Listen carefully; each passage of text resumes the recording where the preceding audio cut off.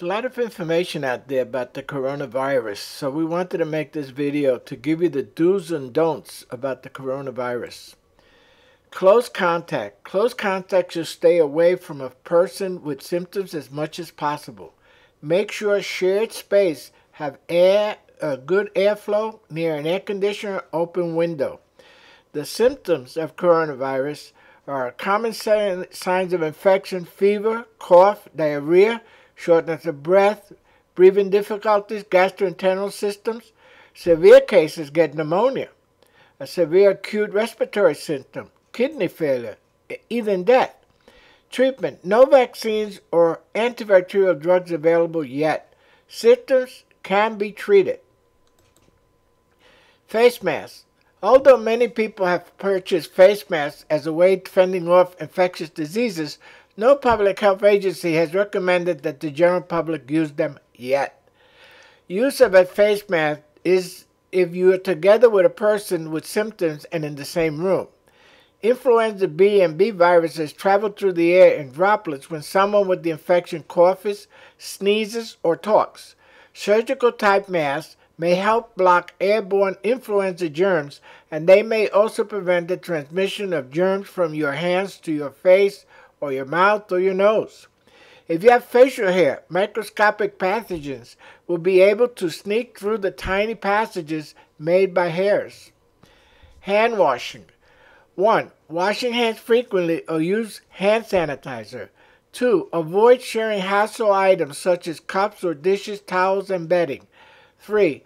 Wash your hands often with soap and water for at least 20 seconds. If you really can't get to soap and water, then use a hand sanitizer that has at least 60% alcohol. 4. Can't wash your hands right away? Avoid touching your mouth, nose, and eyes, as these are areas where the pathogens can grow. Number 1. Wet hands. 2. Use liquid soap. 3. Lather, rub, and count to 15. 4. Rinse. Dry with a towel or air dry hands. 6. Turn off the taps with the towel or your sleeve. High touch surfaces. Clean all high touch surfaces like countertops and door handles, phone and computer keyboards, toilets and bathroom fixtures. Very important. When in public, do not stand close to people who are sick. That may mean taking the stairs rather than an elevator. If you take an elevator, try not to touch buttons with your fingers. They are also true for other objects or surface that other people may touch.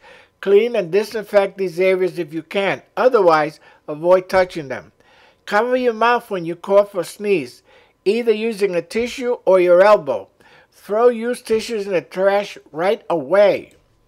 When to call a doctor.